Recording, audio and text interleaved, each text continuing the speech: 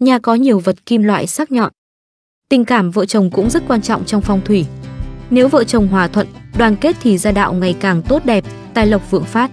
Ngược lại, nếu vợ chồng không hòa thuận hay cãi vã nhau những chuyện vật vãnh thì gia đạo ngày càng xa sút, tài lộc bị tiêu tán.